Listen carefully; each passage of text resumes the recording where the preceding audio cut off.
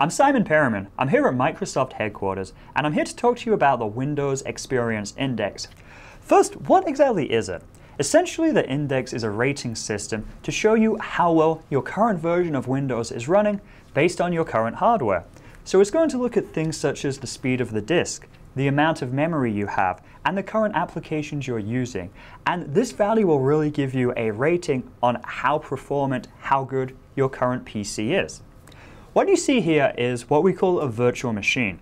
This is a computer running inside another computer. So in this case, on my desktop, I have my Windows 8, and inside this virtual machine, I have Windows 7 running. To take a look at the experience on Windows 7, I can click my Start menu and just type Experience. And this is going to give me the option to check the Windows Experience Index.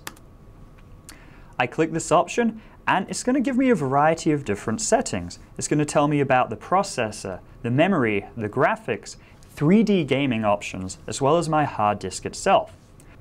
Since this is a clean installation of the computer, this computer has not yet been rated. If I wanted to rate it, I'd simply click Rate this computer, and in about 30 seconds to one minute, it would perform a scan and give me values of the system based on 1 being of no quality all the way up to 7.9, meaning excellent quality.